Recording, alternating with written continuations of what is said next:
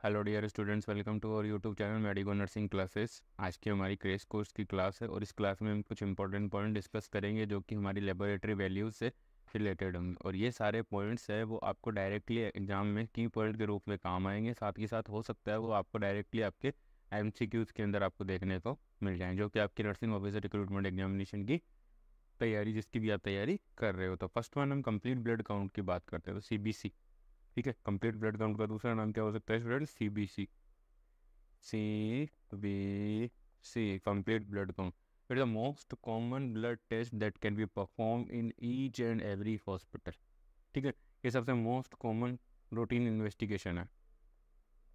Most common routine test है। जाते ही सबसे पहले सीबीसी तो कोई भी डॉक्टर होता है, वो लिख ही देता है। तो सीबीसी में क्या हमें पूरे ब्लड के अंदर कंप्लीट ब्लड के अंदर सीबीसी हमें क्या बताती है? Complete cell count complete cells count बता देती है।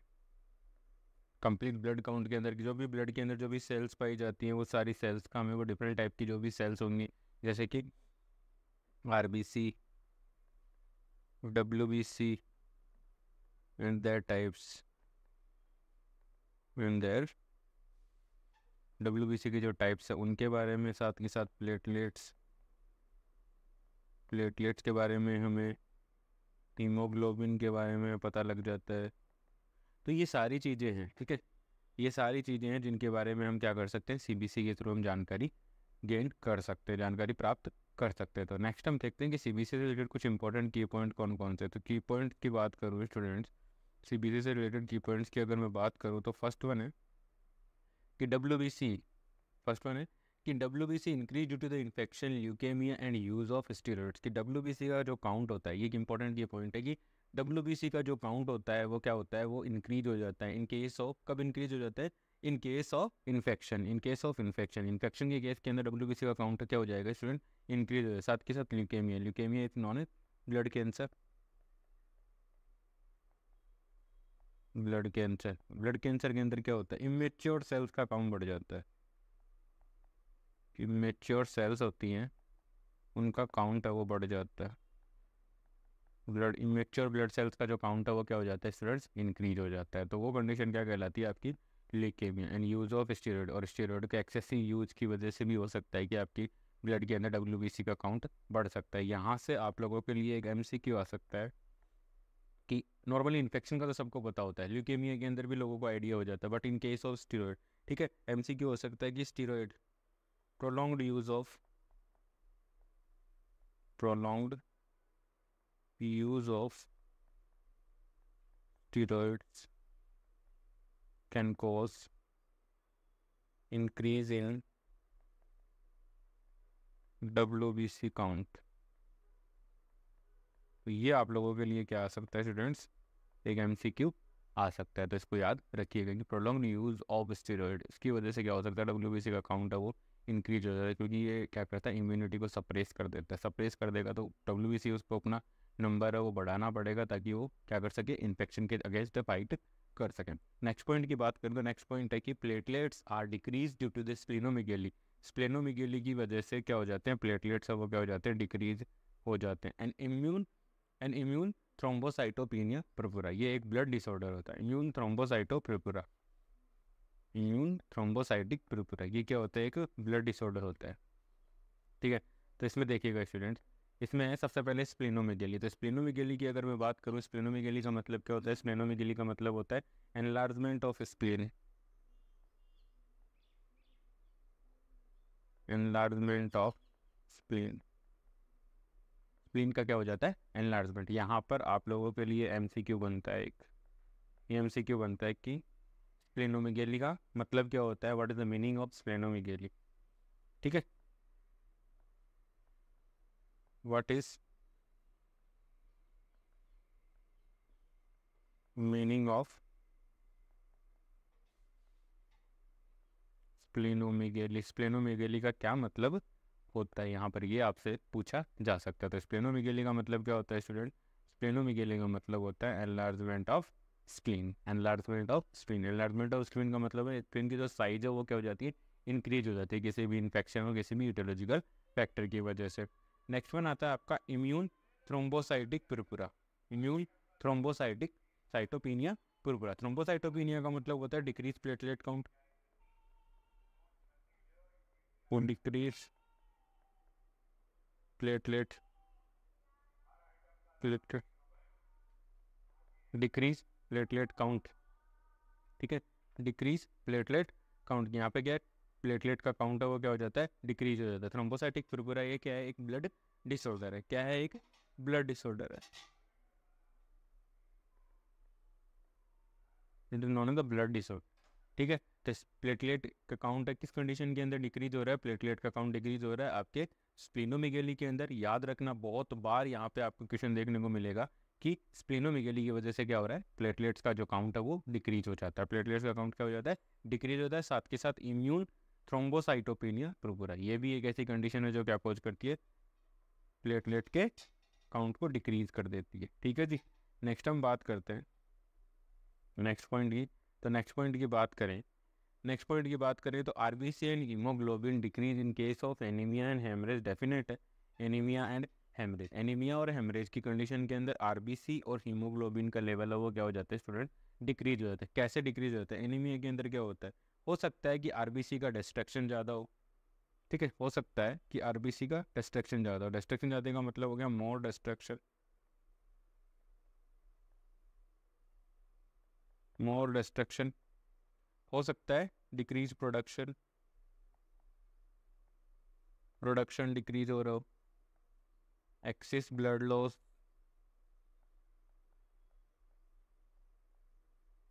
ठीक है? तो हो सकता है इन कंडीशंस के अंदर, ठीक है? तो एक हो सकता है depressed bone marrow bone marrow depression bone marrow depression. ये वो सारी कंडीशन, जिन कंडीशन के अंदर हीमोग्लोबिन और आरबीसी दोनों का प्रोडक्शन है, वो कम हो जाता है, प्रोडक्शन कम हो जाता है, कहीं पे इनका डिस्ट्रक्शन बढ़ जाता है, जिसकी वजह से क्या हो जाता है स्टूडेंट एनीमिया कोज हो जाता है। तो एनीमिया को एक ऐसी कंडीशन है जो जिसके अंदर क्या होता है, हीमोग्लोबिन और आरबीसी का लेवल है वो कम हो जाता है। अब डब्ल्यू के अकॉर्डिंग अगर हम बात करें वर्ल्ड हेल्थ ऑर्गेनाइजेशन के अंदर, अगर किसी भी इंडिविजुअल के अंदर 11 ग्राम per D L eleven gram per D L से अगर हीमोग्लोबिन नीचे है अगर eleven gram per D L ग्यारह ग्राम पर डी एल इस लेवल से अगर किसी के अंदर हीमोग्लोबिन अगर कम है, इस लेवल से कम है, below eleven below eleven gram per D L eleven eleven gram per D L से अगर कम है तो वो इंडिविजुअल कंसिडर किया जाएगा एनीमिया के अंदर। कंसिडर्ड इन एनीमिया उस इंडिविजुअल को हम ये मानेंगे कि उस इंडिविजुअल को क्या हो रखा है स्टूडेंट्स एनीमिया हो रखा है। उस इंडिविजुअल को क्या हो रखा है स्टूडेंट्स एनीमिया हो रखा है। तो ये है इंपॉर्टेंट पॉइंट जो कि ब्लड कंप्लीट ब्लड काउंट से रिलेटेड थे।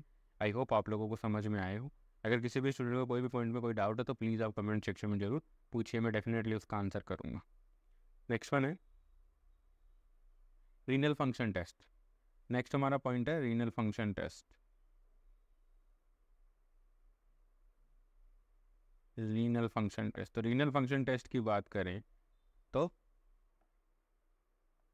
rule out the rule out the functions of function of kidney kidney के फ़ंक्शन को रूल आउट करने का काम करता है। मोस्टली जो हमारी रीनल सिस्टम है रीनल सिस्टम है, उसका मेन फ़ंक्शन क्या होता है? फ़ंक्शन ऑफ़ रीनल सिस्टम की अगर मैं बात करूँ रीनल फ़ंक्शन रीनल फ़ंक्शन या रीनल सिस्टम के फ़ंक्शन की अगर मैं बात करूँ तो सबसे पहले होता है फिल्ट्रेशन ऑफ़ ब्लड सबसे पहला तो होता है filtration of blood filtration of blood ये क्या करता है? रीनल किडनी क्या करती है? ब्लड को फ़िल्टर करने का काम करती है। मीन्स कि remove the waste products remove the waste products, remove the waste products from the blood. From the blood. ये क्या करती है? ब्लड से जो भी वेस्ट प्रोडक्ट्स होती है, उनको क्या कर देती है? एलिमिनेट कर देती है फ़िल्टर करके। ठीक है? नेक्स्ट क्या फ़ंक्शन हो सकता है? नेक्स्ट इसका फ़ंक्शन हो सकता है maintain the electrolyte balance maintain electrolyte.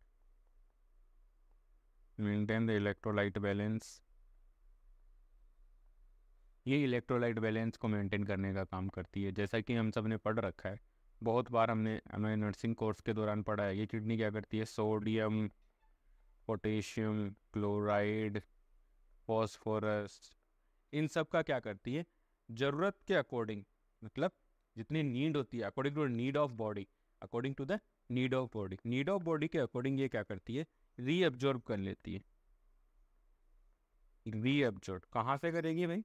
Reabsorb from renal tubules renal tubules renal tubules मतलब नेफ्रॉन नेफ्रॉन के अंदर जो लूप ऑफ़ मिलने प्रोक्सिमल कन्वोलेटेड ट्यूब्यूल्स होती हैं डिस्टल कन्वर्टेड कन्वोलेटेड ट्यूब्यूल्स होती है और कलेक्टिंग डक्ट होती है। वहाँ से ज़रूरत के अकॉर्डिंग ये क्या करती है? पानी को एच टू वाटर को, इलेक्ट्रोलाइट्स को, जितनी रिक्वायरमेंट होती है हमारी बॉडी की नॉर्मल फिजियोलॉजिकल फंक्शनिंग के लिए, उनको क्या करती है, ये रीअब्जॉर्ब कर लेती है और रीअब्जॉर्ब करके ये वापस सर्कुलेशन के अंदर लेके आती है और मेंटेन रखने का काम करती है। साथ के साथ किडनी क्या करती है, एसिड बेस बैलेंस का काम करती है, ये एक इंपॉर्टेंट फ़ंक्शन है किडनी का। एसिड बेस बैलेंस, ये एसिड बेस बैलेंस मेंटेन करने का काम भी करती है। एसिड बेस बैलेंस मेंटेन करने का काम मतलब स्टूडेंट यहाँ पर मैं आपको बताना चाहूँगा कि रीनल सिस्टम या kidney work like a buffer system kidney work like a work like a buffer system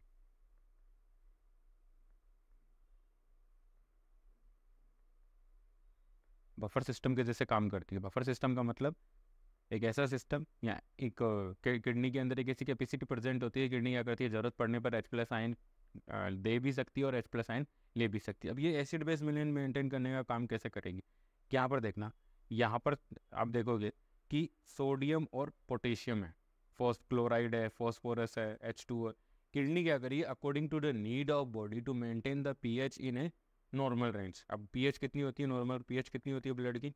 seven point three five से लेकर के seven point four five.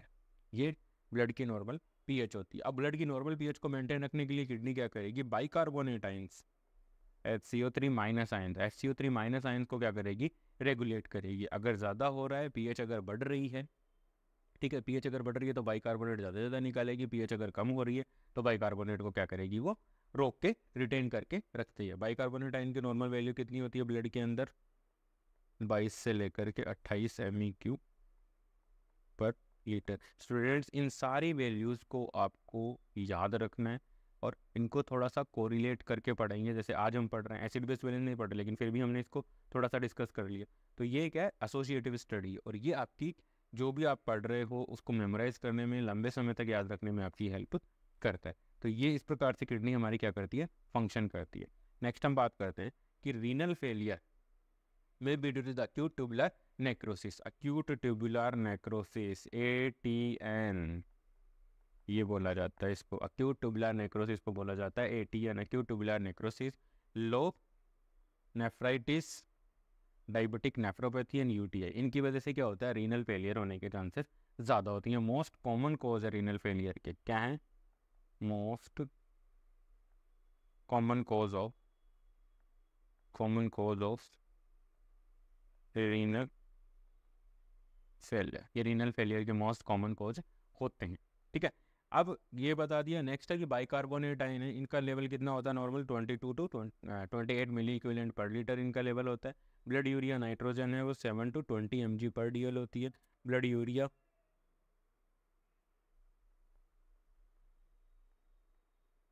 Blood urea ये होती है आपके forty five fifteen to forty five M G per D L ये normal values होती हैं और ये क्या होती हैं? हमारे, ये जो वेस्ट प्रोडक्ट्स होते हैं, जितने भी वेस्ट प्रोडक्ट्स होते हैं, वो हमारी सेल्स के द्वारा जनरेट किए जाते हैं बिकॉज़ ऑफ़ मेटाबॉलिज्म मेटाबॉलिज्म होता है सेल के अंदर कंटिन्यूसली उसकी वजह से ये क्या करती है? ये जो वेस्ट प्रोडक्ट्स हैं, वो जनरेट होते रहते हैं और वेस्ट प्रोडक्ट जैसे ही जनरेट होते हैं तो बॉडी क्या करती है? उन वेस्ट प्रोडक्ट्स को क्या करना शुरू कर देती है? एलिमिनेट करना शुरू कर देती है। तो इस प्रकार से ये रीनल फ़ंक्शन रीनल फ़ंक्शन में सबसे इंपॉर्टेंट एक टेस्ट होता है क्रिएटिनिन का। रीनल फ़ंक्शन के अंदर एक इंपॉर्टेंट टेस्ट होता है क्रिएटिनिन का। Serum creatinine serum creatinine serum creatinine है तो क्रिएटिनिन बनता है हमारी मसल्स में waste products of muscles waste product of waste products of muscles metabolism muscles metabolism. Muscles के मेटाबॉलिज्म के दौरान ये सबसे ज़्यादा बनता है स्टूडेंट ठीक है जी? मसल्स मेटाबॉलिज्म में ये बनता है। अब है, कि सीरम क्रिएटिनिन की नॉर्मल वैल्यू होती है ज़ीरो पॉइंट सिक्स से लेकर के वन पॉइंट थ्री टू, कईयों में टू भी मिलता है स्टूडेंट ठीक है? एम पर डी ठीक है? तो ये इसकी नॉर्मल वैल्यू होती है। ये भी, ये क्या है? रीनल फ़ंक्शन का इंडिकेटर सीरम क्रिएटिनिन क्या है? Renal function indicator renal function indicator अगर सीरम क्रिएटिनिन बढ़ता जा रहा है, इसका मतलब है कि आपकी किडनी है, वो काम करना कम हो रही है और ये मोस्ट कॉमन करंटली अभी ये सबसे ज़्यादा बीमारी है, वो चल रही है। रीनल फेलियर के केस बहुत ज़्यादा देखे जा रहे हैं, बहुत ही ज़्यादा बढ़ते जा रहे हैं। नेक्स्ट हम देखते हैं हमारा blood coagulation study blood coagulation studies blood coagulation studies का मीनिंग क्या? ब्लड कोएगुलेशन स्टडीज़ का मतलब है कि हम क्या कर रहे हैं? Blood clotting blood clotting time को हम क्या करें मॉनिटर करें ब्लड क्लोटिंग टाइम या blood coagulation physiology blood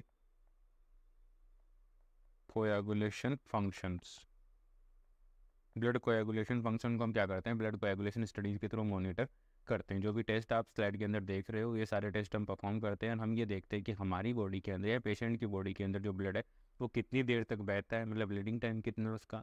clotting clot कितनी देर में बनेगा? उसका एक्टिवेटेड पार्शल थ्रोम्बोप्लास्टिन टाइम कितना है? और P T I N R उसका कितना है? तो ये सारी चीज़ें हम देखते हैं। और ये बिफोर सर्जरी सबसे इम्पोर्टेंट होता है कि before surgery most commonly before surgery most commonly, monitor before surgery. Most commonly, monitor before surgery. Surgery से पहले इसको सबसे ज़्यादा मॉनिटर किया जाता है, क्योंकि सर्जरी के दौरान हम क्या करते हैं स्टूडेंट सर्जरी के दौरान हम क्या करते हैं ब्लड जो पेशेंट है, उसको क्या लगाते हैं? इंसीजेंस लगाते हैं और उन इंसीजेंस की वजह से क्या होता है स्टूडेंट्स उन इंसीजेंस की वजह से हो सकता है कि पेशेंट के अंदर हम इंसीजन लगाएँ और पेशेंट के अंदर कोई ब्लड क्लोटिंग का डिसऑर्डर था। ब्लड क्लोटिंग ब्लड क्लोटिंग का क्या था? डिसऑर्डर था और उसका ब्लड रुक ही नहीं रहा हो। तो ऐसी कंडीशंस को प्रिवेंट करने के लिए हमें क्या करना पड़ता है? ऐसी कंडीशन को प्रिवेंट करने के लिए हमें क्या करना है? सबसे पहले हमें ब्लड कोएगुलेशन को कोएगुलेशन की प्रोफ़ाइल उसको मॉनिटर कर लेना ताकि हमें ये पता लग जाए कि हमें पेशेंट है, वो कितने पेशेंट के अंदर कितना ब्लड लॉस हो सकता है, उसका हम एस्टिमेटेड रूल आउट कर सकते हैं। एस्टिमेट अमाउंट को या एस्टिमेशन हम पता लगा सकते हैं कि कितना ब्लड उस सर्जरी के दौरान लॉस हो सकता है। तो इसके लिए हम ब्लड को एगुलेशन स्टडीज़ करते हैं। साथ के साथ रूल आउट करते हैं कि कोई डिसऑर्डर तो नहीं है, ठीक है? जैसे कि liver function liver liver disorder liver disorders के रूल आउट करने के लिए ब्लड को एगुलेशन क्योंकि हम सब जानते हैं कि ब्लड के अंदर फिब्रिन नाम की प्रोटीन होती है, जो क्या करती है? ब्लड को एगुलेशन के अंदर काफ़ी इंपॉर्टेंट होती है, और ब्लड को एगुलेशन के अंदर इंपॉर्टेंट होने की वजह से, और ये बनती कहें लीवर के अंदर। अगर फिब्रिन का लेवल कम है तो ब्लड क्लोट नहीं हुआ। क्लोट नहीं हुआ, क्यों? क्योंकि लीवर काम नहीं कर रहा है। ठीक है? कोई भी क्लोटिंग फैक्टर की डिफिशियंसी हो।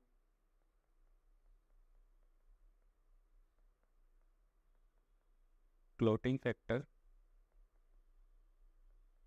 कोई भी क्लोटिंग फैक्टर की डिफिशियंसी हो तो उस कंडीशन के अंदर क्या हो सकता है कि आपको क्या करना है? क्लोटिंग फैक्टर की डिफिशियंसी होगी तो उस कंडीशन के अंदर क्या करना है?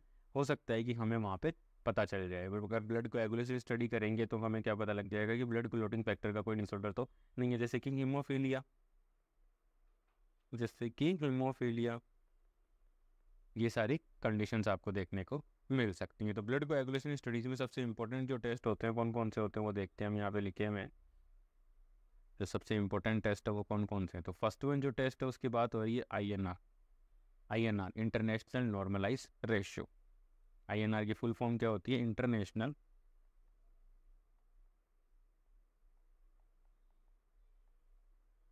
international normalized ratio international normalise ratio और इसकी नॉर्मल वैल्यू कितनी होती है? ज़ीरो पॉइंट एट से लेकर के वन पॉइंट वन तक। ये इसकी नॉर्मल वैल्यू होती है। ये इसकी क्या होती है? नॉर्मल वैल्यू होती है। स्टूडेंट, इसका ध्यान रखना बहुत ज़रूरी होता है। ड्यूरिंग सर्जरी हमें P T I N R है, वो ज़रूरी होता है। क्योंकि ये क्या बताता है? ये हमें बताएगा कि ब्लड का क्लोटिंग क्या है। क्लोटिंग मैकेनिज्म है, वो ठीक से काम कर रहा है कि नहीं कर रहा है। ठीक है?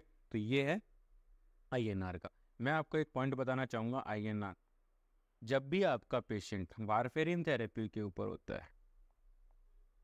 वारफेरिन थेरेपी जब भी आपका पेशेंट अगर वारफेरिन थेरेपी पे, अगर कोई आपका पेशेंट है, वो पेशेंट का है वारफेरिन थेरेपी के ऊपर है। ठीक है? वारफेरिन क्या है? एक एंटीकोएगुलेंट ड्रग है। क्या है? एंटीकोएगुलेंट ड्रग है। एंटीकोएगुलेंट ड्रग है। तो जब वारफेरिन थेरेपी के ऊपर आपका पेशेंट है, जब आपका पेशेंट वारफेरिन थेरेपी के ऊपर है, आपके पेशेंट को आपने किसी भी रीज़न की वजह से एंटीकोएगुलेंट थेरेपी के ऊपर रखा और आपने वारफेरिन है वो दी, ठीक है? वारफेरिन को हम क्या कर सकते हैं? Orally can be orally administered can be orally administered warfarin को हम ओरली भी एडमिनिस्टर कर सकते हैं। जब आपका पेशेंट वारपेरिन थेरेपी पे होता है तो वारपेरिन की जो वारपेरिन ड्रग थी, उसकी इफेक्टिवनेस को चेक करने के लिए हमें क्या करना होता है? आईएनआर टेस्ट करवाना होता है। To monitor the effectiveness to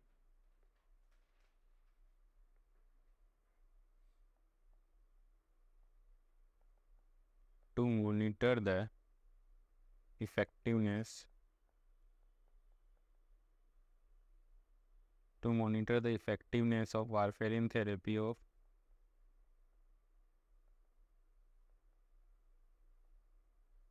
to monitor the effectiveness of the warfarin therapy INR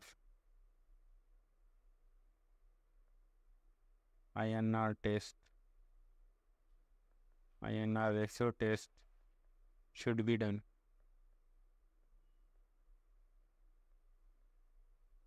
warfarin therapy की इफेक्टिवनेस को चेक करने के लिए हम कौन सा टेस्ट करते हैं? हम करते हैं आई एन आर टेस्ट तो याद रखने की बात है कि यहाँ पे कन्फ्यूज़न में हो सकता है, क्योंकि अभी दूसरा टेस्ट बताऊँगा, वो बताऊँगा मैं आपको हिपेरिन से रिलेटेड तो यहाँ पे क्या आपको मिसमैच होने के चांसेस है कन्फ्यूज़न होने के चांसेस तो हमें कन्फ्यूज़ नहीं होना है और हमें क्या याद रखना है कि जब भी पेशेंट वारफेरिन थेरेपी हुई है तो उसकी इफेक्टिवनेस को चेक करने के लिए हमें क्या करना है? आईएनआर टेस्ट करना है। पेशेंट को वारफेरिन थेरेपी पे क्यों रखा? क्योंकि हमारे पेशेंट को कोई भी क्लोटिंग डिसऑर्डर था, जिसकी वजह से हम हम क्या चाहते थे? एंटीकोएगुलेंट ड्रग है, वो देना चाहते थे। तो एंटीकोएगुलेंट ड्रग है, वो दी वारपेरिन क्या है? कि एंटीकोएगुलेंट ड्रग है। अब उसकी इफेक्टिवनेस को भी चेक करना ज़रूरी है।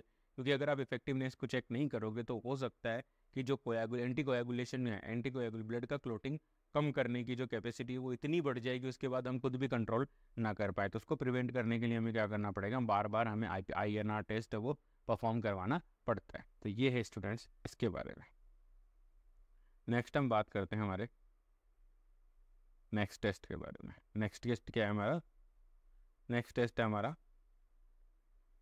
A P T T next test है हमारा A P T T A P T T का मतलब हो गया activated partial thromboplastin time A P T T का फुल फॉर्म क्या हो गया? Activated partial activated partial thromboplastin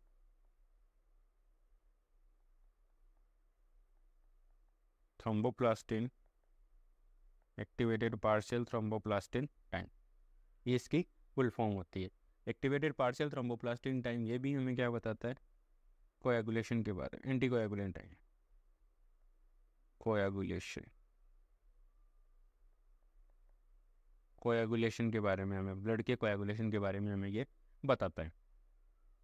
बताना चाहूँगा कि जब आपका patient mostly monitoring heparin therapy बाकी तो मैंने बता ही दिया कि ब्लड कोएगुलेशन स्टडीज़ है, वो कब परफॉर्म की जाती हैं, लेकिन मोस्टली एपीटीटी का जो टेस्ट है, वो कब किया जाता है, मैं वो बताना चाह रहा हूँ। और वो टेस्ट किया जाता है स्टूडेंट्स जब patient on heparin therapy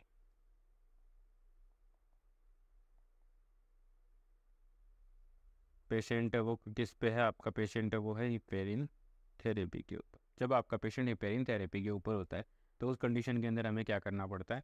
APTT test है वो करवाना पड़ता है।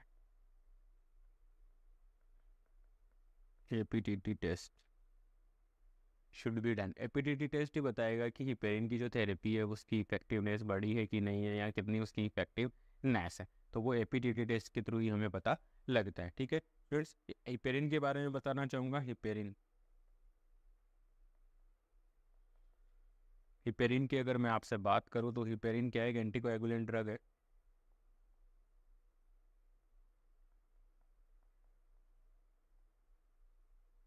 हिपेरिन क्या है? एक एंटीकोएगुलेंट ड्रग है।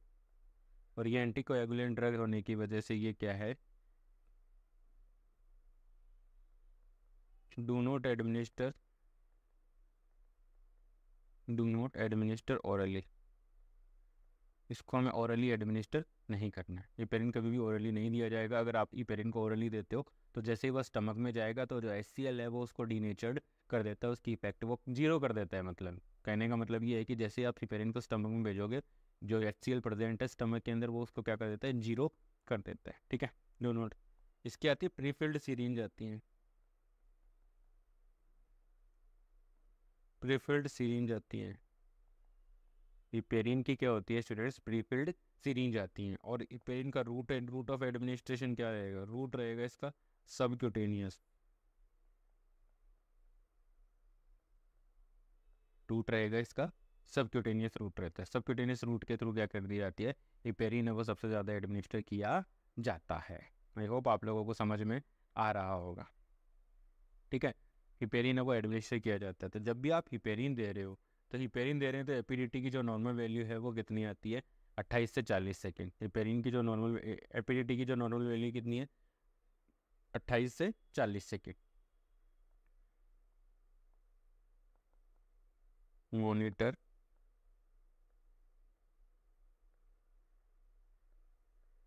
APTT test monitor the APTT test APT test monitor क्यों करना है? अब इसके नॉर्मल वैल्यू कितनी है? अट्ठाईस से चालीस। अट्ठाईस से चालीस बताइए ना? अट्ठाईस से चालीस सेकेंड इसकी नॉर्मल है। तो अट्ठाईस से चालीस सेकंड इसकी नॉर्मल है। अब आप पेशेंट को अगर आप हिपेरिन एडमिनिस्टर कर रहे हो एडमिनिस्टर एडमिनिस्टर हिपेरिन हिपेरिन आप पेशेंट को एडमिनिस्टर करो। अब आप पेशेंट को अगर हिपेरिन एडमिनिस्टर करोगे तो ये जो चालीस सेकेंड वाली जो वैल्यू है, वो थ्री टाइम गुण थ्री टाइम इंक्रीज जो एपीटीटी की वैल्यू है एपीटीटी है, वो थ्री टाइम इंक्रीज हो जाता है। थ्री टाइम इंक्रीज होने का मतलब है कि उसकी जो वैल्यू है, जो 80 से 90 सेकेंड्स तक, अगर हिपेरिन थेरेपी चल रही है, उस टाइम पे अगर उसकी 80 से 90 सेकेंड तक आ रही है तो नॉर्मल है।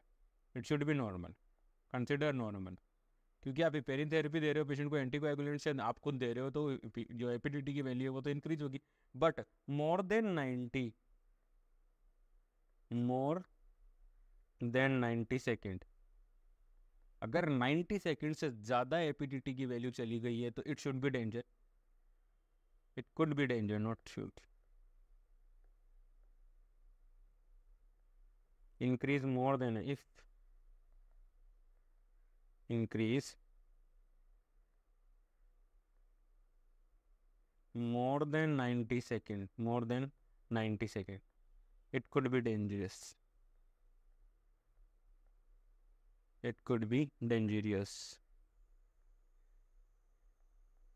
ये डेंजरियस हो सकती है। इस समय आप लोगों को क्या करना पड़ेगा? ब्लीडिंग प्रिकॉशन है वो इंक्रीज करने पड़ेंगे। पेशेंट का जो पेरिन थेरेपी है, उसको टेम्पर टेपर करके उसको क्या करना पड़ेगा? उसको डिक्रीज करना पड़ेगा उसको स्टॉप करना पड़ेगा। अगर आप कंटिन्यूसली पेरिन थेरेपी दे देते जाते हो 90 सेकंड के बाद भी एपीटीटी की वैल्यू 90 तक 80 टू 90 तक पहुँचने के बाद भी अगर आप कंटिन्यूसली रखते हो तो उस सिचुएशन के अंदर आपको देखने को मिल सकता है कि पेशेंट के अंदर ब्लीडिंग डिसऑर्डर होंगे पेशेंट है, उसकी जो कोई भी कैविटीज है, उसके अंदर ऑटोमेटिकली ब्लड का क्या होना शुरू हो जाएगा? ब्लीडिंग शुरू हो जाएगी और ब्लड का कलेक्शन होना शुरू हो जाता है। तो ये काफ़ी डेंजरियस हो सकता है। तो इसको प्रिवेंट करने के लिए हमें क्या करना पड़ेगा? जब भी आप पेशेंट को हिपेरिन थेरेपी दे रहे हो तो उस कंडीशन के अंदर हमें क्या करना है?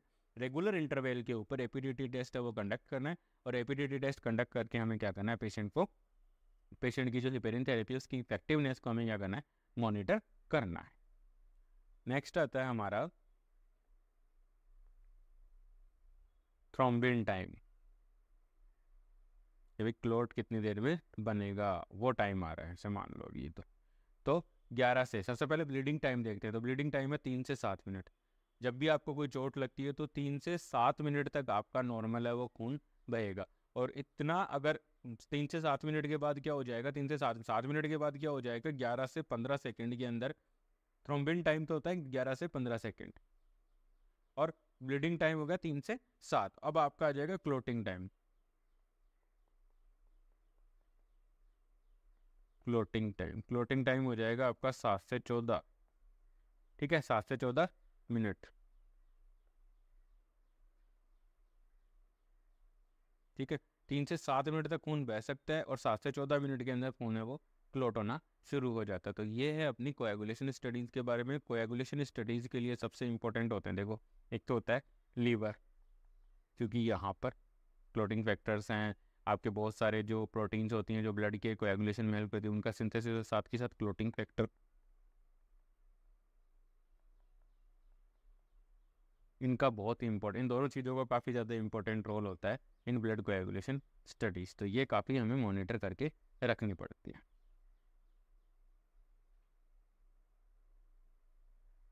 आज की क्लास में इतना ही। आई होप मेरे द्वारा प्रोवाइड की जा रही क्रेश कोर्स की क्लासें आपके नर्सिंग ऑफिसर रिक्रूटमेंट एग्जामिनेशन की प्रिपरेशन में आपकी हेल्प कर रही होंगी। Please like share and subscribe thank you so much